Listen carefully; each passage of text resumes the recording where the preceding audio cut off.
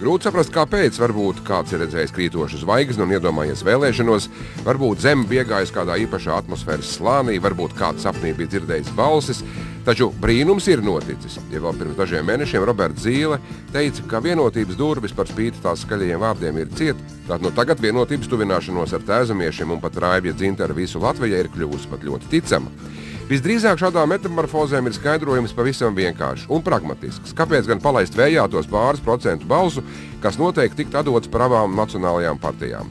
Nu, nav jau neko liels tas pienesums, bet, kā saka, santīms pie santīm, kamēr skat jau latiņš ja partijas startē katra atsevišķi, ir sevišķi nosacīti līdzīgi domājošas vai līdzīgi ideoloģiski orientētas partijas, tad viņas negribot ir spiestas cīnīties ar vienu otru. Un mēs zinām, kāds Latvijas apstākļos ir. Tas ir arī dažkārt apliešana dubļiem, viens otru diskreditē, un tad finālā pēc tam, pēc tam cīņām izbeidzās to, ka nu, visi nosmērēta dubļiem, un tā teikt, vēlētā izvēlies, kurš tad no, kurš tad no mums ir tā kā, tā kā, tā kā tīrāks, ja, kur patiesībā visi ir netīri. Taču, ja vienotība domā, ka potenciālie pienācēji atvilks līdzi arī savu elektorātu, cik nu kuram tas liels, tad politiķiem tomēr derētu parunāt ar ekspertiem, kas saka, vēlētāji Latvijā balso situatīvi.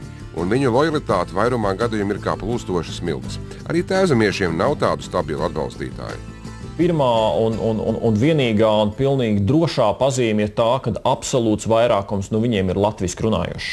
Ja mēs skatāmies pēc dažādiem citādiem sociāliem un demogrāfiskiem parametriem, tad runāt par tādām ļoti cieti izteiktām tendencēm patiesībā ir ļoti, ļoti grūti. Nu, kāpēc gan mēs tik samaitāti domājam, ka vienotība cīnīski visu kalkulē? Varbūt politiķi beidzot ir sapratuši, ka mieras baro, kamēr nemieras posta. Varbūt par visiem ir nākusi apjausma, ka apvienošanās process ir neizbēgams, jo cik tad ilgi tā var, kur divi latvieši tur trīs partijas. Skaistiem varbūt arī varētu noticēt, ja vien mēs neatcerētos, ka vienotība pēc būtības ir kā salīmēta jau reiz lielos skandālos sadragāta krūze. Ja vien kuluāros nebūtu runa par sarmītas ēlērts lielos spiedienu uz partneriem tieši par tēvzemiešu piesaisti ja vien jaunā laika līderis Olvita Apultiņa aicinātu parunāt par jaunajām vēsmām, no tēzamiešu jautājuma atgaiņājās par varas makti. Īsāk sakot, konsolidācijas procesi te ir ēnu pārpilni. Man būtu ko komentēt eh, šī sakarībā un diezgan daudz, bet es atturēšos no komentāriem līdz desmit saimnes vēlēšanām. Vienkārši, ja jau viņi būs mūsu partneri, tad mīļā, miera labāk vairāk vai mazāk sadzīvosim, zināt, ar to mīlestību dažu politiķu starpā tā nu ir kā ir. Vienotības tās trīs partijas runā katra ar sevi. Mūsu partneris ir jaunais laiks pamatā, ar ko mēs arī visbiežāk esam tikušies. Un mēs īstenībā nezinām, kā. Mēs apmēram zinām, kā tās sarunas tur attīstās, bet mēs ar Sarmītu Cēlētas klātbūtni nereiz neesam runājuši ar vienotību un nerunāsim droši vien. Tomēr domājot par to latvisko vienotību, latvisko vienotību, mīļā miera labad, šad un tad varbūt ir kādam tā galviņa jānoliec drusku zemāk. Pazemojoši būtu stāties iekšā vienotībā, kā partija apvienībā. Tas tiešām būtu pazemojoši. Eh, bet uz līdzvērtīgas partnerības eh, pamata slēgt līgumu, tas ir tikai normāli. Jā, tēvzemieši meklē tagad dažādas formas un veidus, kā nepazaudēt savu seju. Tēvzemiešu līderis Roberts Zīle noraida izteikumus, ka partijas pievienošanās vienotībai nozīmētu arī TBLN kā nāvi. Nē, tā nav nāve. Nē, tā ir jauna situācija, kas pirmkārt visas partijas, arī, kas tagad ir oficiāli iestājušās vienotībā, visas trīs, ja, viņas jau juridiski pastāv.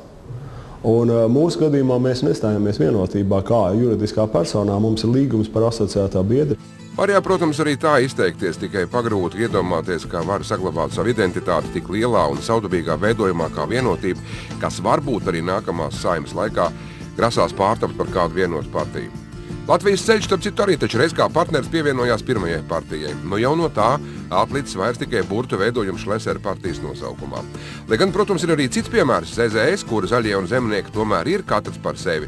Tāpat kā asociētā Latvijai un Ventspilī. Bet nu, tas ir īpašs gadījums, kur atslēgas vārds visdrīzamāk ir Lembergs. Tā kā cerība saglabāt savu seju un partiju tēvzemiešiem, starp citu, tāpat kā arī visu Latvijai, kas grasās pievienoties vienotībai, var izrādīties viens skaisti sapņi.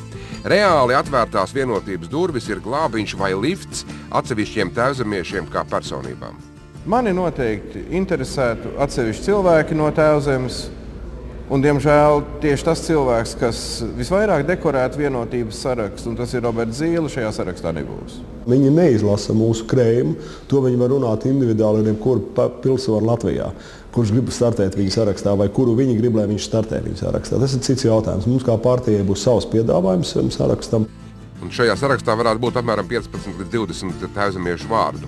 Ļoti iespējams, ka starp tiem būs arī dobeļu un tabūnu uzvārdi. Un tad, iedomājoties, ka kopējā listē ir gan šie abi divi, gan Lolita Čigāne, gan Raivis Zinters, gan Ātis Leņš, kurā arī it kā lobējo piesauktā Elerte, gan varbūt arī Visvaldis Lācis, un kur tad vēl raibā vienotību dibinājošo partiju kompānijas sejas. Teikšu atklāti, ir grūti iedomāties, ka šie cilvēki varētu sastrādāties vai atrast kopīgu valodu par vairākām būtiskām problēmām, jo pārāk dažādi ir viņu redzējumi.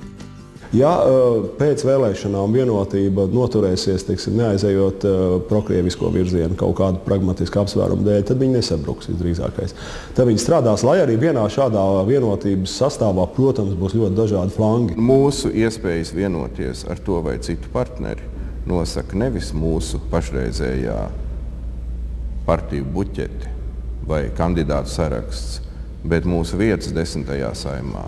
Sarunas par vienotības paplašināšanu vēl nav noslēgušās, tāpēc galīgais apvienības veidols ir nezināms. Tāpat kā pagaidām ir nezināma arī Mērovics grupas vieta tajā. Elerts kundze gandrīz izteicās, ka ziedoņa mēnesī darīja zinām, kas tad varētu startēt vienotības listē. Maijs jau gandrīz galā, bet no skaidrības neveists. Gaidīsim un sekosim arī tām smalkajām kustībām, kas ir tālu no publiskās telpas, bet par procesiem pasaka vairāk nekā oficiālie un optimistiskie paziņojumi Urbis et Orbis. Jo žēl būtu rudenī nopirkt skaistu un pareizās proporcijās izveidotu mantu, bet aiznesot mājās konstatēt, ka tā nedarbojas, lai gan instrukcija ir uzrakstīta pareizi un spožā latviešu valodā.